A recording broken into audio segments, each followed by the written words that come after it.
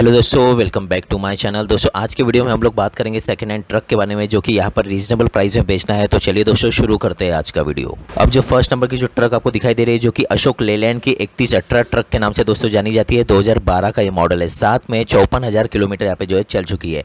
गाड़ी जो है एकदम अर्जेंट में सेल करनी है। गाड़ी जो है न्यू इंश्योरेंस इसमें आपको दोस्तों मिल रहा है। उसी के साथ साथ गाड़ी की जो कंडीशन आप यहाँ पर देख सकते हैं, बहुत ही बढ़िया है। नागपुर में गाड़ी अवेलेबल हो रही है। अब दोस्तों बात करते हैं इसके प्राइस के बारे में। तो इसका जो प्राइस है ऑनर ने डिसाइड किया है दोस्तों, ग्यारह लाख पचास हज़ार रुपये ग्यारह लाख पचास हज़ार के हिसाब से दो हज़ार बारह का मॉडल, अगर आपको अच्छा लगता है तो नीचे दिए गए नंबर पर कॉल करके पूरी इन्फॉर्मेशन यहाँ पे ले सकते हैं। गाड़ी का जो लुक है, आप फ़ोटो में देख सकते हैं, एकदम रनिंग कंडीशन में गाड़ी जो है आपको मिल रही है तो ज़रूर कॉल करें। अब जो सेकंड नंबर की ट्रक जो दिखाई दे रही है, जो कि टाटा मोटर्स का ब्रांड है दोस्तों टाटा 909 के नाम से यहाँ पे जाने जाता है। पुणे में गाड़ी अवेलेबल हो रही है 2013 का ये मॉडल है। किलोमीटर की अगर बात करेंगे तो दो लाख बीस हज़ार किलोमीटर यहाँ पे जो है चल चुकी है। गाड़ी के पूरी की पूरी जो पेपर है, यहाँ पर ओके है, और गाड़ी की जो कंडीशन आप यहाँ पर देख सकते हैं।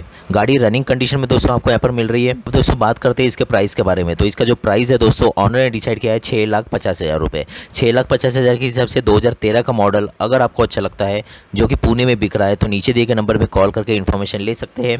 फ़ोटो में आप जो है गाड़ी का लुक देख सकते हैं। रनिंग कंडीशन में गाड़ी यहाँ पर जो है आपको मिल रही है। तो ज़रूर कॉल करें। अब जो तीसरे नंबर की जो ट्रक आपको दिखाई दे रही है, जो कि यहाँ पर टाटा हाईवे के नाम से जानी जाती है, सोलह तेरह के नाम से दोस्तों यहाँ पर जानी जाती है। दो हज़ार बारह का दोस्तों ये मॉडल है। गाड़ी एकदम गुड कंडीशन में है रनिंग कंडीशन में है। उसी के साथ साथ बात करते हैं प्राइस के बारे में। प्राइस है दोस्तों इसका दस लाख सत्तर हज़ार रुपये दस लाख सत्तर हज़ार के हिसाब से ये जो गाड़ी है, अगर आपको अच्छी लगती है तो नीचे में नंबर है, उस नंबर पर कॉल करके इन्फॉर्मेशन ले सकते हैं। गाड़ी की जो कंडीशन आप फ़ोटो में यहाँ पर देख सकते हैं दोस्तों। अगर ये गाड़ी अच्छी लगती है तो नीचे दिए गए नंबर पर कॉल ज़रूर करें। नीचे दिए गए नंबर पर कॉल करके इन्फॉर्मेशन यहाँ पे ले सकते हैं तो ज़रूर कॉल करें।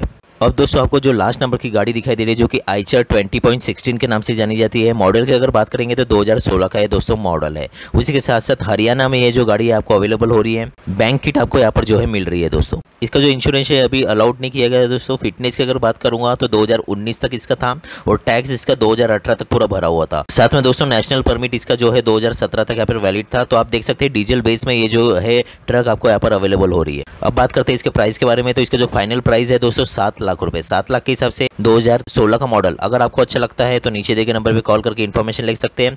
बैंक किट आपको दोस्तों यहाँ पर जो है मिल रही है। नीचे में नंबर है, उस नंबर पर आप पूरी इन्फॉर्मेशन यहाँ पे ले सकते हैं। तो दोस्तों, आज के वीडियो में आपको मैंने सेकंड हैंड ट्रक के बारे में बताया था, कैसा लगा वीडियो इस बारे में मुझे कमेंट करके ज़रूर बताओ। साथ में अपना जो चैनल इसको लाइक शेयर सब्सक्राइब ज़रूर कर देना। तो चलिए दोस्तों थैंक यू दोस्तों थैंक यू वेरी मच दोस्तों।